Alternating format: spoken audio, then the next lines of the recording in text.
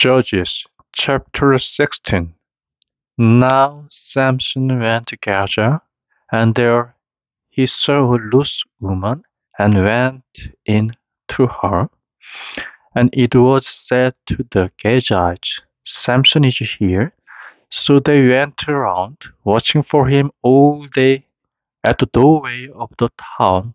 But at night they kept quiet, saying, When the daylight comes, we will put him to death. And Samson was there till the middle of the night. Then he got up and took a grip on the doors of the town, pulling them up together with their two supports and their locks, and put them on his back, and took them up to the top of the hill in front of Hebron. Now, after this, he was in love with a woman in the valley of Sorek named Delilah.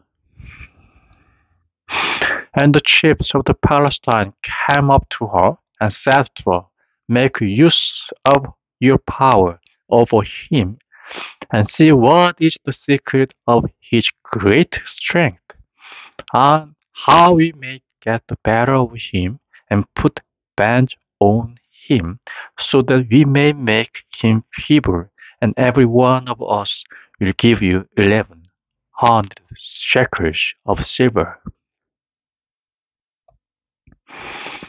So Delilah said to Samson, Make clear to me now what is the secret of your great strength, and how you may be put in bands and made feeble. And Samson said to her, If seven new cords, which have never been made dry, are knotted around me, I will become feeble and will be like any other man. So the chiefs of the Philistines gave her seven new bow cords which had never been made dry, and she had them tightly knotted around him.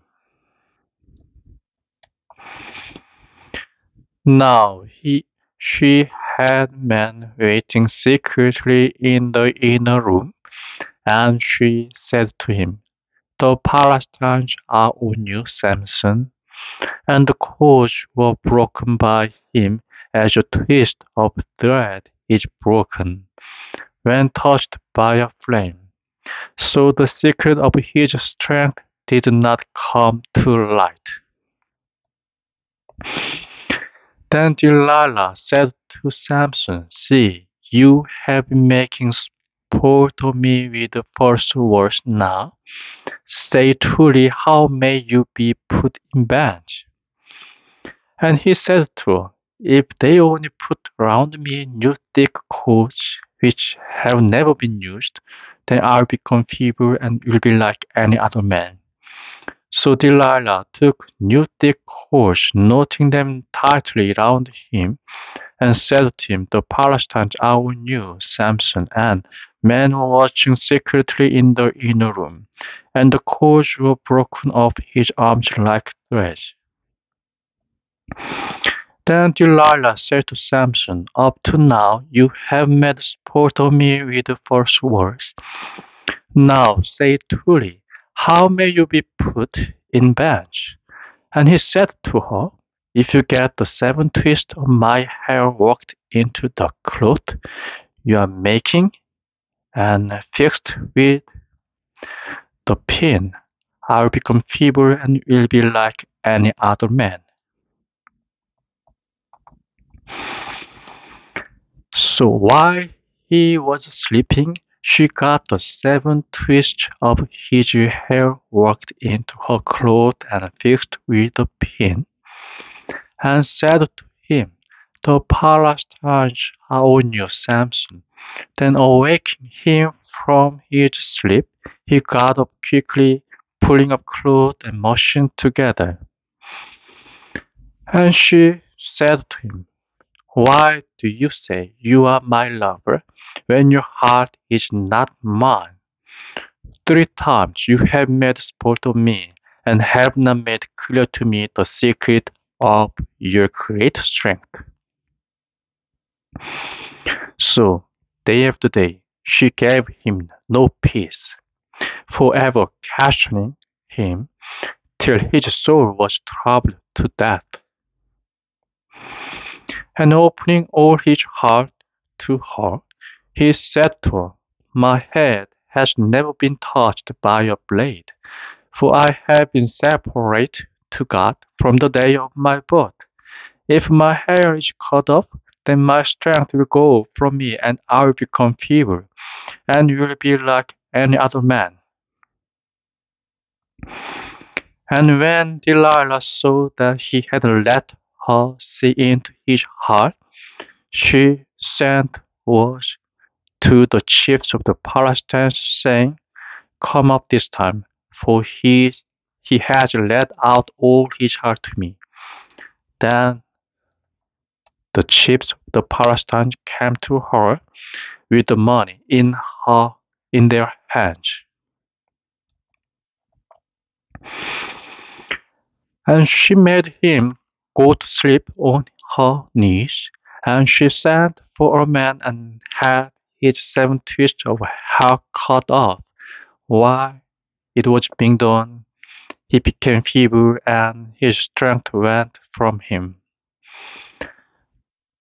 Then she said, The Philistines are all new Samson, and awake from his sleep. He said, I go out as at other times, shaking myself free. But he was not conscious that the Lord had gone from him. So the Philistines took him and put out his eyes. Then they took him down to Gaza, and chaining him with bands of brass, put him to work crushing a grain in the prison house. But the growth of his hair was starting again after it had been cut off. And the chiefs of the Philistines came together to make a great offering to Dagon their god and to be glad. For they said, Our God has given into our hands Samson our hater. And when the people saw him, they gave praise to their God, for they said, Our God has given into our hands the one who was fighting against us, who made our country waste, and who put great numbers of us to death. Now, when their hearts were full of joy, they said, Send for Samson, Samson to make sport for us. And they sent for Samson out of the prison house, and he made sport before them, and they put him between the pillars.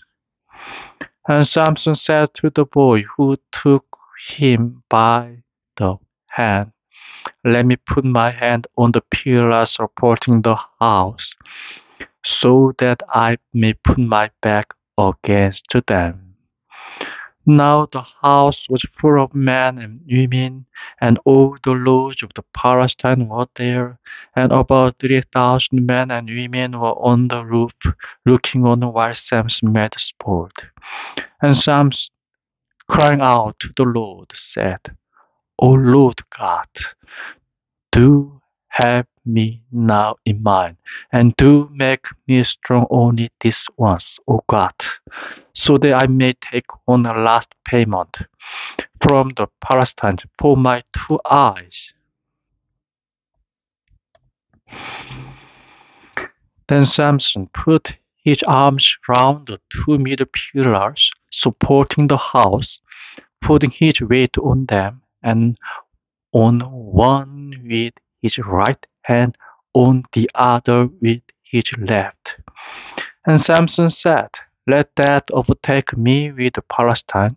And he put out all his strength, and the house came down on the chiefs and on all the people who were in it. So the dead, whom he sent to destruction by his death, were more than all those on whom he had sent destruction in his life.